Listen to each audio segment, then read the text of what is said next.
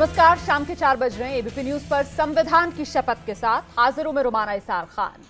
संविधान की शपथ इसलिए क्योंकि ये जो देश का संविधान है, उसे भारत के आम लोगों ने बनाया और नीति बनाने वालों को सौंपा है। देश संविधान से चलता है। हमारे जनप्रतिनिधि, चाहे वो सांसद हों या फिर विधायक हों, इस संविधान की ही शपथ लेते हैं और देश में जो कानून हैं, मूल रूप से संविधान की भावना के हिसाब से बने हैं। इसीलिए हम हर मुद्दे को संविधान की कसौटी पर ही कसते हैं। संविधान के दायरे में, संविधान के सिद्धांतों के तहत ही बहस आगे शुरू करेंगे, लेकिन उससे पहले बात आज के मुद्दे की। जज लोया की मौत की जाँच की मांग की याचिका सुप्रीम कोर्ट ने खारिज कर दी है। देखिए, ये वही मुद्दा है जिसे लेकर विरोधी सीधे बीजेपी अध्यक्ष अमित शाह पर सवाल उठा रहे थे। और अब बीजेपी ने कहा है कि जज लोया की मौत पर सवाल उठाने के लिए राहुल गांधी कांग्रेस माफ़ी मांगे। यही हमारा आज का मुद्दा, क्या जज लोया केस कांग्रेस की साजिश थी? जज लोया केस की दोबारा नहीं होगी जाँच।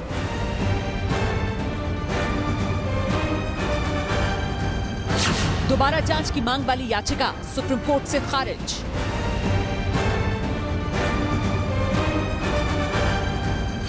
सुप्रीम कोर्ट ने कहा, राजनीतिक हित के लिए उठाई गई मांग।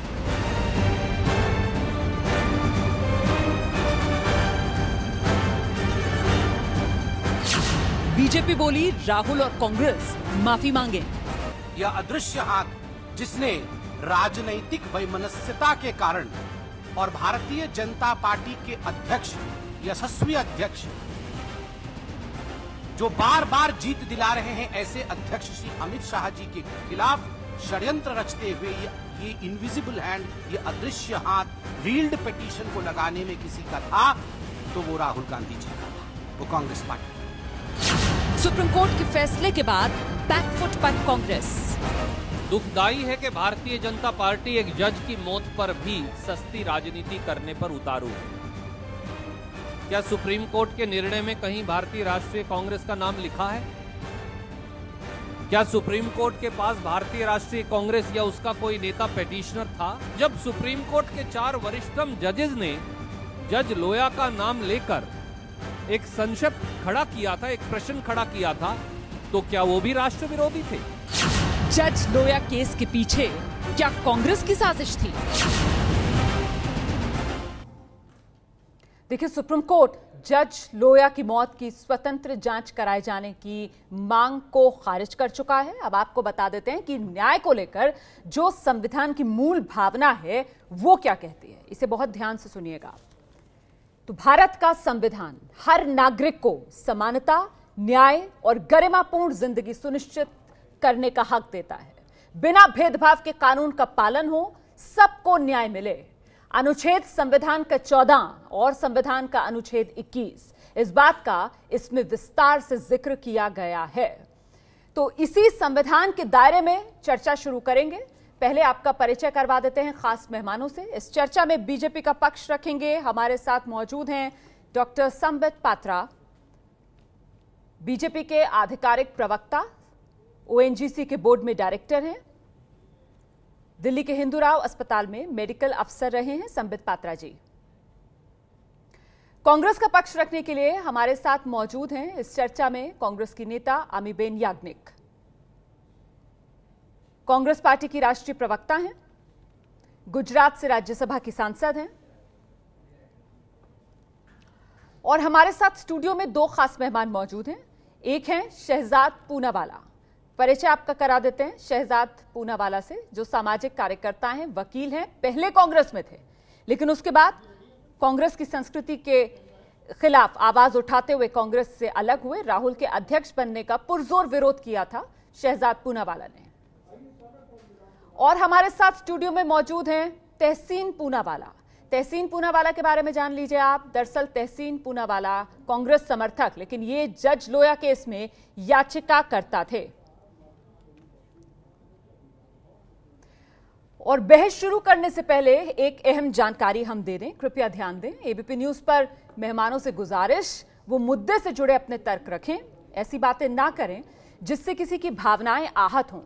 क्योंकि हमारा मकसद चर्चा करना है, शोर मचाना नहीं। उम्मीद की जाती है, सभी मेहमान बेहद शिष्टाचार के साथ अपनी बात रखेंगे और दूसरे की बात को सुनेंगे। तो आइए बहस शुरू कर लेते हैं। सबसे पहला सवाल मेरा, अमी याग्निक जी, आपसे है। सवाल क्या शेर मुझे याद आ रहा है, अमीबेन याग्निक? खूब पर्दा है, चिलमन से लगे बैठे हैं। साफ़ छुपते भी नहीं और सामने आते भी नहीं। ये आड़ से शिकार का खेल कांग्रेस का। आज पर्दाफाश हो गया।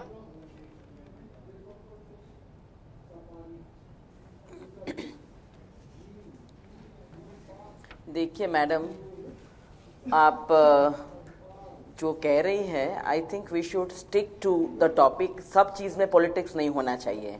Congress is not in the picture as far as the petitions are concern but Congress is the party which is concern कि भाई देश की जो स्थिति है, उसमें कांग्रेस को सबसे ज़्यादा परेशानी होती है कि भाई ये क्यों ऐसा हो रहे ऐसी व्यवस्थाएँ क्यों बन रही है जो जवाब ना दे सके, जो जिसकी कोई जवाब दे ही ना हो? तो आप हमें ऐसा करना चाहिए, सब चीज़ में पॉलिटिक्स नहीं होनी चाहिए। First and foremost point is that कि चाहे जज लोया की बहन ने, आके मीडिया को कहा, किसी और को कहा, किसी पड़ोस में कहा, क्या किसी मैगजीन वाले को कहा, या किसी घर वाले को कहा उससे पहले अगर अपना कोई ब्रदर जज अननेचुरल डेथ होता है तो क्या जुडिशरी की आप रू नहीं काँप जाती है कि भाई हमारा कोई सिटिंग ब्रदर जज की डेथ हो गई है? तो मैं तो ये समझी कि सुओ मोटो कहीं से काफ़ी कोर्टों से सुओ मोटो पिटिशन आएगी सुप्रीम कोर्ट से आएगी बॉम्बे से आएगी कहीं से भी आएगी और सुओ मोटो जाँच इमीडिएटली के भाई हमारा सिटिंग जज को ऐसे कैसे हो गया? तो ये बात है। आ, नहीं आप पहले सुनिए बात। This is the most important thing कि अगर कोई judicial officer in the court suddenly dies of unnatural circumstances एक तो मैं आपसे गुजारिश करूँगी कि कृपया करके आप हिंदी में अपने तर्क रखने की कोशिश कोई भी केस है कृपया करके आप हिंदी में अपने तर्क रखने की कोशिश करें। फैमिली ने कहा ये जो आप कह रही पिटिशन हुई। और फिर भी अगर आप आप ऐसा समझते हैं कि कोई पार्टी में पॉलिटिक्स है तो बहुत ही बहुत ही गलत काम कर रही है आप। चलिए, बहुत बहुत बहुत अच्छे से अपने, आपने अपनी बात रख ली ना।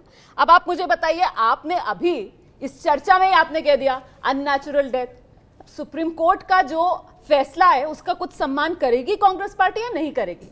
डेथ जो है, वो नेचुरल तरीके से हुई है, उसकी वजह जो है, वो नेचुरल कॉज है। एक तो आप, मुझे लगता है, यहीं पर देश को गुमराह मत कीजिए, माफ़ी मांग लीजिए आप देश से कि आपने गलत बयानी की है, क्योंकि सुप्रीम कोर्ट के जजमेंट में ये बात साफ़ कर दी गई है। उसके बाद मैम सियासत आप लोग करें। सॉरी सॉरी नहीं नहीं सियासत आप लोग करें और फिर चैनल पर बैठकर आप लोग हमें बताएँ कि हम देश में सियासत ना करें हम देश को गुमराह ना करें। नो हुई। इसकी वजह से। सुनिए आप मेरी बात। प्रेस कॉन्फ्रेंस जो है वो आपके नेता कोई नहीं करता है बारह जनवरी दो हज़ार अठारह को राहुल गांधी आप ऐसा पॉलिटिक्स ना करें केस को। ये किसी नहीं नहीं हम यहाँ जज लोया के न्याय की बात कर रहे हैं। बिल्कुल हाँ, वो जुडिशियल तो न्याय की बात वो जज थे तो उनको उनकी जाँच होनी चाहिए कि नहीं उतना ही टॉपिक था। तो आप कांग्रेस में कांग्रेस को घसीट के लाती है। बॉम्बे के एसोसिएशन ने ये किया पिटिशन दायर की। आप ये नहीं बताती सब फैक्ट्स अमीबेन याग्निक जी मैं कांग्रेस को घसीट कर ला रही हूँ।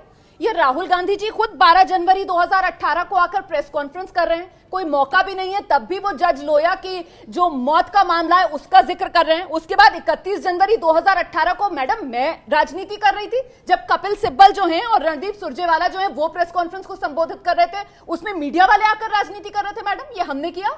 उसके बाद मैडम 9 फरवरी 2018 को मीडिया वाले गए थे राष्ट्रपति जी को ज्ञापन सौंपने के लिए सौ सांसदों के साथ या राहुल गांधी जी गए थे? मैं आप जो कर रही हैं आप देश को गुमराह कर रही हैं। बनता है। आप देश को गुमराह कर रही हैं। आपने जो किया बेनकाब होने के बाद अब आप देश को गुमराह कर रही हैं विपक्ष को बोलना पड़ता है? और Rahul Gandhi the citizen of this country first तो वो क्यों नहीं बोलेंगे?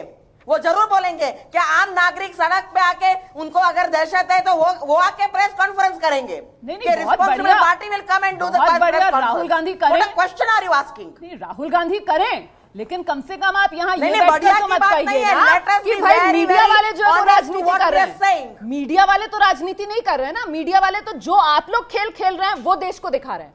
हम लोग कोई राजनीति नहीं कर रहे। आपने कैप्शन लगा दिया कि जो मैंने आपको तारीखें बताई कांग्रेस की राजनीति कहाँ है भाई? अब आप मुझ पर सवाल उठा रही हैं। मैं जरा सा संबित पात्रा को यहाँ पर ले आती हूँ। संबित सोशल मीडिया पर चल रहा है। सबको वो तारीखें पता है। और हमने एक विपक्ष के नाते एक सिटीजन के नाते एक रिस्पॉन्सिबल पार्टी के नाते हमने ये आवाज़ उठाई थी। और अब उठाते रहेंगे। संबित पात्रा ये तो चिलमन पर जवाब नहीं दे रही आप ये तो बीजेपी को बोलना चाहिए था आपने तो हमारे में आग लगा दी। सुन नहीं पा रहा हूँ तो रोमाना जी इतना चिल्ला रही है मैडम हमारी कि मैं सुन नहीं पा रहा अमी हूँ जी अमी जी जरा संयम से रखिए अपनी बात संयम से रखिए मैम अपनी बात। आपके पास में आ जाऊँगी अब जरा संबित के पास चलते हैं।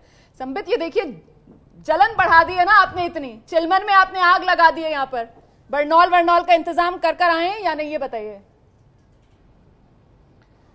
नहीं, देखिए, मैं तो समझ नहीं पा रहा हूँ। मैं अमी याग्निक जी का बड़ा सम्मान करता हूँ। बहुत वर्षों से हम दोनों डिबेट करते रहे हैं। बहुत अच्छी व्यक्ति हैं वो।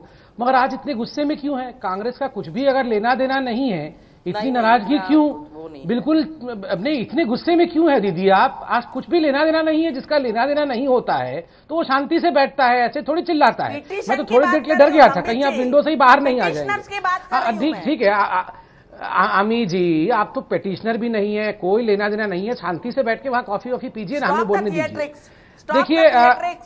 अरे मैडम प्लीज़ हाँ, अच्छा ठीक है अब बोलने ड्रामेबाजी बंद करो। देखिए आप। दे- अमी जी पे बात अमी जी करो। बोलने दीजिए संबित पात्रा को। आपने अपना पूरा वक्त लिया है। अमी जी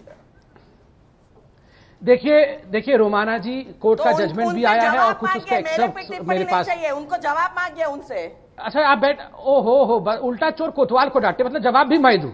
बदमाशी ये करे और जवाब मैं दू शाम को बैठ के। अब अब, अब सुनिए आप चिल्लाइए मत सुनिए मेरी बात।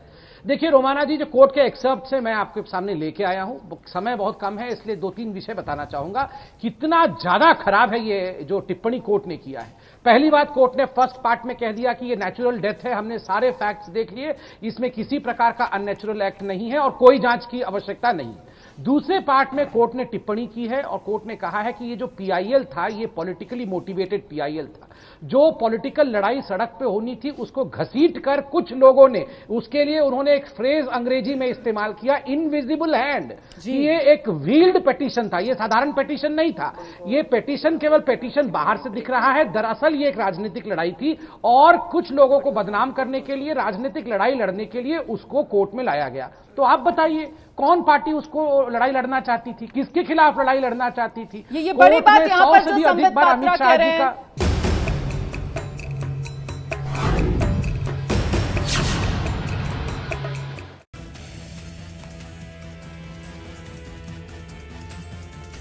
क्या जज लोया केस कांग्रेस की साजिश थी? तमाम खास मेहमान जो हमारे साथ बने हुए हैं, तहसीन पूनावाला इस मामले में याचिका करता थे। या फिर तहसीन, जैसा कि संबित पात्रा कह रहे हैं कि कांग्रेस का मुखौटा थे आप, और अब मुखौटा उतर चुका है। मैं संबित भाई का बहुत मैं संबित भाई की बहुत आदर करता हूँ लेकिन संवित भाई जो आपके चैनल पे एग्जैजरेट कर रहे हैं वो चीज़ मैं आपके दर्शकों के सामने लाना चाहता हूँ। संबित भाई ने कहा कि माननीय सुप्रीम कोर्ट में माननीय चीफ जस्टिस लेड बेंच ने ये क्या कौन सा इनविजिबल हैंड था?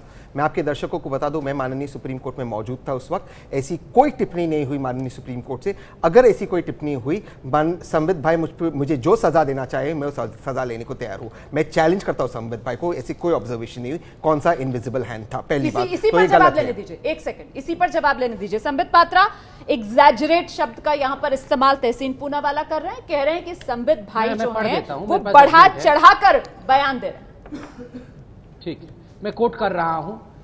The way the petitioners were argued, petitioners argued and presented before the court by the lawyers and parties clearly shows that under the wheel, V-E-I-L, wheel of the PIL, political scores were sought to be settled by unknown persons who were acting from behind.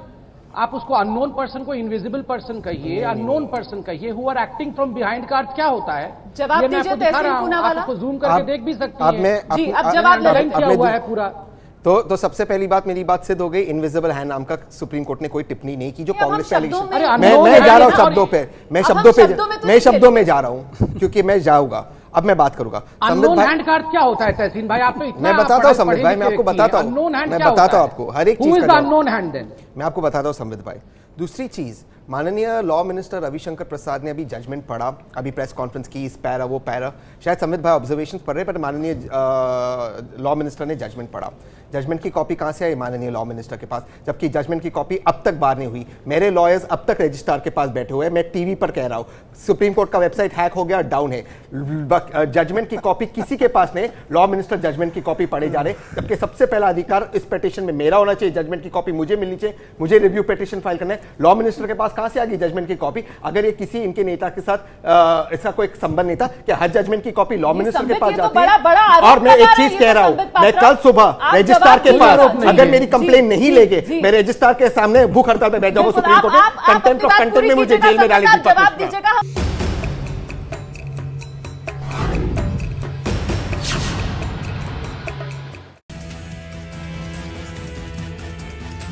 संविधान की शपथ जारी है तमाम खास मेहमान हमारे साथ मौजूद हैं। हम रुक कर लेते हैं चर्चा जहाँ हमने रोकी थी अपनी। संबित पात्रा यहाँ पर तहसीन पूनावाला की तरफ़ से कहा जा रहा है कि देखिए जो याचिकाकर्ता थे उन्हें जजमेंट की कॉपी मिली नहीं और देश के कानून मंत्री जो हैं वो जजमेंट की कॉपी हाथ में लेकर पढ़ रहे थे उसमें से एक लाइन ऐड कर दूँ? संबित भाई सॉरी क्षमा चाहता हूँ। मेरी वकील मुझे कह रही है सुप्रीम कोर्ट गाइडलाइन से कि जजमेंट पब्लिश वेबसाइट पे होने के पहले सर्टिफाइड कॉपीज आप लॉ मिनिस्टर या किसी को भी नहीं दे सकते। लॉ मिनिस्टर भी दूर की बात है। और एसजी ऑफ़िस महाराष्ट्र को अब तक और महाराष्ट्र काउंसिल को यानी कि मुकुल रोहतगी और हरीश साल्वे जी को अब तक कॉपी नहीं मिली है। ठीक है जी संबित। देखिए ती- दो तीन पॉइंट में यहाँ बता दूँ। एक बार जजमेंट जब प्रोनाउंस हो जाती है वो जजमेंट जो है वो पब्लिक प्रॉपर्टी बन जाती है। जी, दूसरी बात किन्हीं कारणों से जो कि बिल्कुल सही कहा तहसीन जी ने जो वेबसाइट है सुप्रीम कोर्ट का वो डाउन है। इस कारण से हमारे पार्टी के जो लॉयर्स हैं इंक्लूडिंग द लॉ मिनिस्ट्री उन्होंने रजिस्ट्री से ये जजमेंट प्रोक्योर किया है। आप या मैं भी जाके रजिस्ट्रेट से ये जजमेंट प्रोक्योर कर सकते हैं। इसमें कोई रॉकेट साइंस की आवश्यकता नहीं है। देखिए मूल मुद्दा आपने जजमेंट जो कि अब पब्लिक हो चुका है वो कहाँ से लाया? वो है या ये जो अननोन पर्सन जो पीछे से राजनीति करने की कोशिश कर रहा था जो अमित शाह जी को बदनाम करने के लिए इस प्रकार का षड्यंत्र कर ये ये जो पर्देदारी है ये जो पर्देदारी है संबित पात्रा हाँ। जो मैंने अपने कार्यक्रम में शुरुआत भी शेर से ही की थी कि खूब पर्दा है चिलमन से सटे बैठे हैं साफ़ छुपते भी नहीं, सामने आते भी नहीं।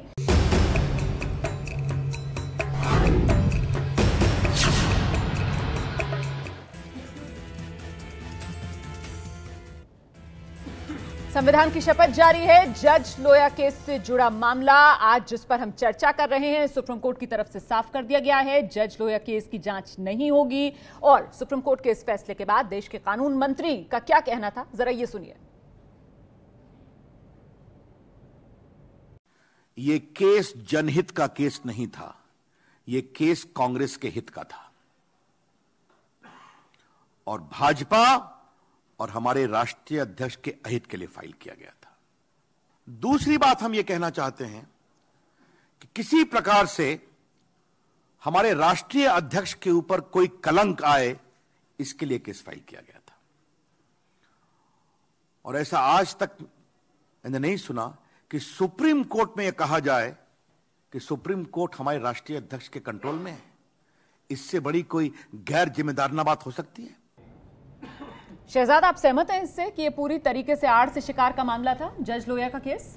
देखिए मैं आपको एक तथ्य बताना चाहता हूँ।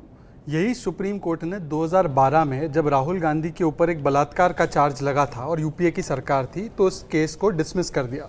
संबित पात्रा तब भी प्रवक्ता थे। अगर संबित पात्रा बाकायदा प्रेस कॉन्फ्रेंस करके कहते कि नहीं, उन्होंने बलात्कार किया ही है तो आज आप और मेरे जैसे लोग संबित पात्रा को क्या कहते? और यही चीज़ अगर सुप्रीम कोर्ट ने सारे तथ्यों को देखकर एक फैसला किया है, अब आप सवाल उठा सकते हैं अनेकों।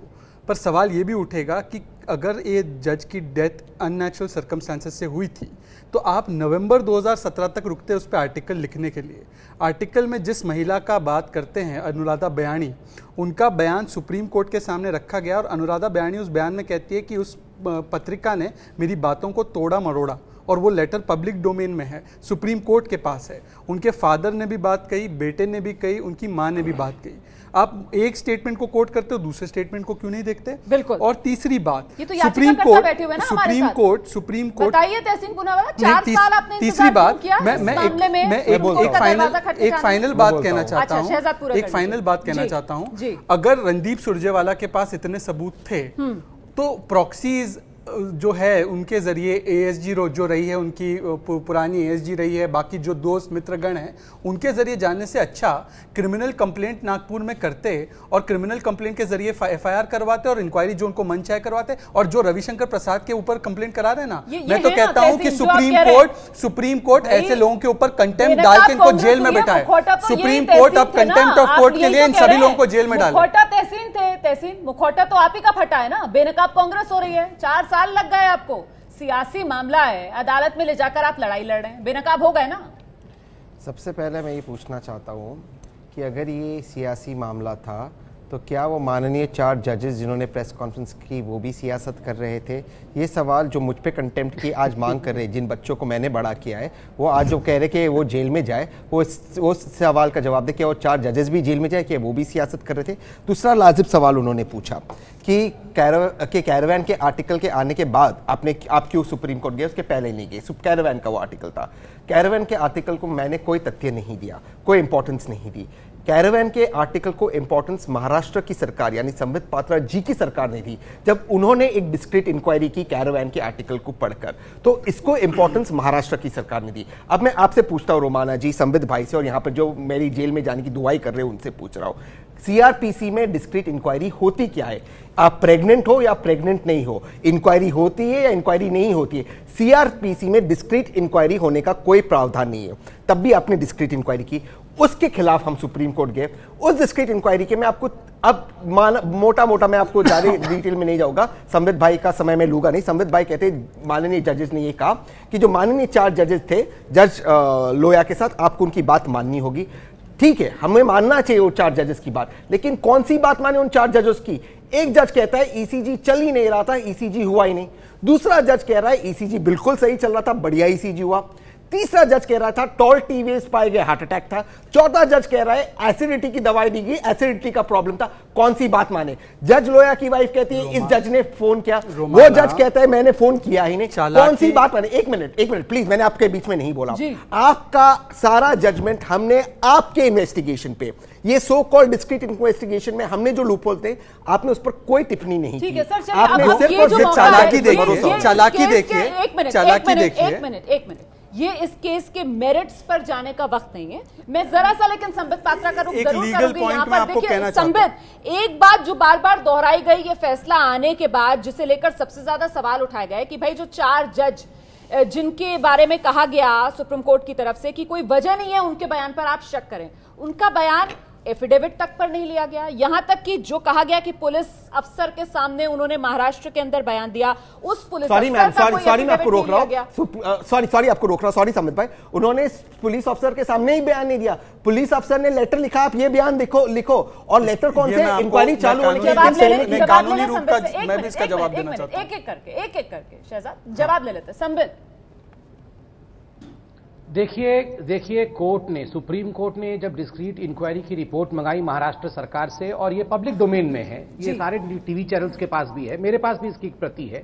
इसमें चारों जजेस के चिट्ठी सम्मिलित है तहसीन भाई ने भी चिट्ठी पढ़ा होगा। महाराष्ट्र सरकार ने सबसे चिट्ठी मंगाई थी सभी जजेस ने चिट्ठी लिखा है डिटेल चिट्ठी लिख के हस्ताक्षर किए हैं और कोर्ट का स्टैंप लगा हुआ है। आप इस पे भी विश्वास नहीं करेंगे। देखिए इतना तो आप मानती है रोमाना जी कि हम जी। तीनों जो भाई यहाँ बैठे हैं हमसे ज़्यादा अकलमंद तो सुप्रीम कोर्ट है ना? अगर ये वहाँ अंधेर राज होता जजेस चिट्ठी नहीं दिए होते नकली चिट्ठी प्रोड्यूस हुआ होता तो आपको लगता है सुप्रीम कोर्ट के तीन जजेस की खंडपीठ ने इतने आसानी से इस प्रकार की बातें कही होती? और तो और कोर्ट ने कहा कि जिस प्रकार का खिलवाड़ आपने कोर्ट में किया है ये क्रिमिनल कंटेम्प्ट है।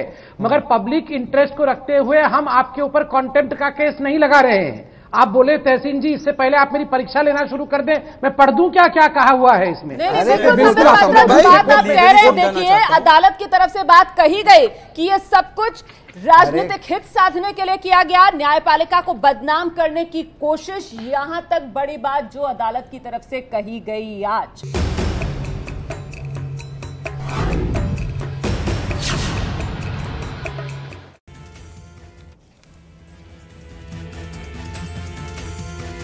संविधान की शपथ जारी है। क्या जज लोया केस कांग्रेस की साजिश थी? तमाम खास मेहमान जो हमारे साथ बने हुए हैं।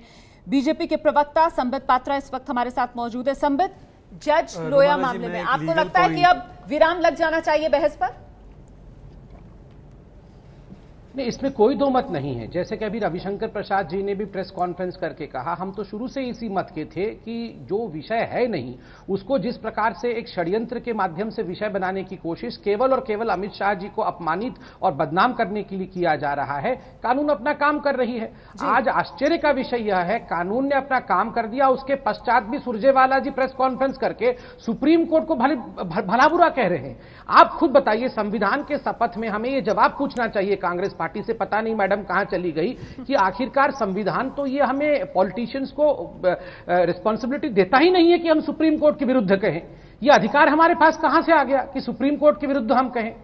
ये बड़ा सवाल है यहाँ पर तहसीन सवाल इसी वजह से कि सुप्रीम कोर्ट का अगर फैसला है उसको अगर आप चैलेंज करना चाहते हैं तो फिर कानूनी रास्ता आपको अपनाना होगा ना। प्रेस कॉन्फ्रेंस करके आप सुप्रीम कोर्ट के फैसलों पर सवाल थोड़ी उठाएँगे। ये क्या परिपाटी? नहीं मैं सुरजेवाला जी पर टिप्पणी नहीं करूँगा मैं संवित भाई से दो चीज़ पूछना चाहता हूँ। तो मुखौटा तो आप है लेकिन कांग्रेस के। यही तो आरोप आप पर लग रहे हैं। और लगने दो आ, लेकिन संबित भाई इस चीज़ का जवाब दे। मेरी पिटिशन में एक लाइन एक शब्द मेरे आर्ग्यूमेंट्स में रिटर्न सबमिशन में ओरल सबमिशन में एक लाइन संबित भाई दिखा दे मैंने अमित शाह जी का नाम लिया। मैंने कभी नहीं लिया। आप लोग ही आ रहे अमित शाह अमित शाह जी। हमने तो कभी नहीं लिया। मैंने कहा जज लोया की मृत्यु कैसी है? वो देश के सामने आए। वो चीज़ हुई नहीं। दूसरी चीज़ में एक सवाल पूछ ले फिर भाई साहब जो है वो लीगल समझा दे हमें। संबित भाई एक मिनट एक लास्ट चीज़ एक लास्ट चीज़। एक चीज़ आप ही के वकील थे आप ही के वकील थे ना तहसीन पूनावाला पहले आप ही के वकील थे अमित शाह जी का नाम नहीं लिया। मैंने कभी अमित शाह जी का किसी भी नेता का नाम नहीं लिया। एक लास्ट चीज़ वकील है वो नाम लेते हैं और आप कह रहे हैं आपने नाम नहीं लिया इसके तो फिर मायने नहीं बचते ना। एक मिनट एक मिनट मुझे पहले जरा गृह मंत्री राजनाथ सिंह की प्रतिक्रिया इस फैसले पर जो आई है वो दिखानी है देश को उसके बाद आप आइएगा। देश की सर्वोच्च अदालत सुप्रीम कोर्ट ने जस्टिस लोया की मृत्यु को लेकर दायर की गई जनहित याचिका को न केवल पूरी तरह से खारिज किया है, बल्कि जनहित याचिका की मंशा पर भी सवाल उठाए हैं। साथ ही राजनीतिक लड़ाई में न्यायालय का दुरुपयोग करने से भी न्यायपालिका ने आगाह किया है।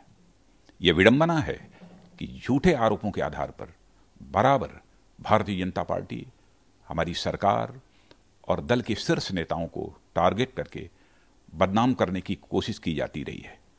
और मैं मानता हूँ कि वह प्रयास एक बार पुनः विफल सिद्ध हुआ है। अब यह स्पष्ट हो गया है कि न्यायपालिका को राजनीतिक लड़ाई का अखाड़ा नहीं बनाया जा सकता है।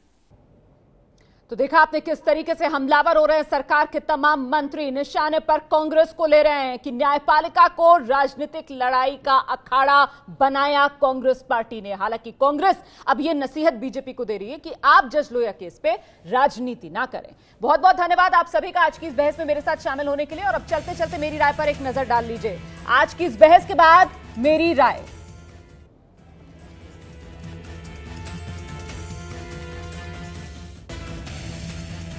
लोया केस पर राजनीति करनी है तो अदालत के बाहर करें।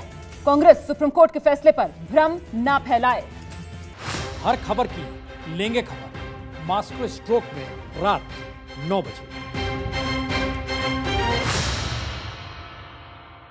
ये है एबीपी न्यूज़ आपको रखे आगे।